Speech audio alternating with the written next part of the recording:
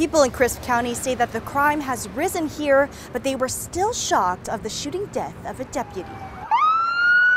The Georgia Bureau of Investigation says at 3:40 Wednesday morning, Browne went to check on a truck parked in the middle of Highway 280. The car had come in stolen, and when Browne went to check in on the car, the GBI says the driver, 25-year-old Krishawn Cross, shot Browne and fled the scene in the deputy's patrol car. The ambulances were coming down the road hauling tail that way, and I knew something bad had happened. Barbara McLeod says when she heard of Browne's death, she couldn't believe it. Doing his job and got shot, expecting to go home to his family.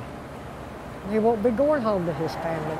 McLeod says this violence is reflective of the rising crime in Cordele. The gun violence, the drugs, I don't feel safe. No, I don't. I mean, it's just sad. That ain't the way it's supposed to end. Former County Commissioner Wallace Mathis says he heard about the shooting this morning. And I've heard this morning he was, you know, really detail oriented and was looking forward to a career in law enforcement, and it's just sad. The sheriff's office says they've received outpouring love from the community as people and surrounding law enforcement agencies gathered to pay respects to Browne. A deputy, a son, a grandson, a loved one, a friend.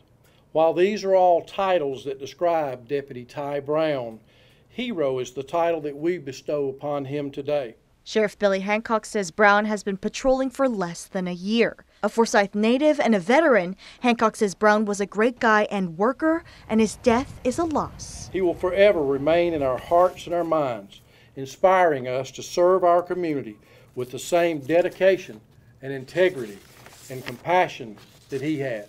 Hancock says Deputy Browne did everything he was supposed to do at this morning's stop. In Cordele, Jessica Cha, 13 WMAZ News.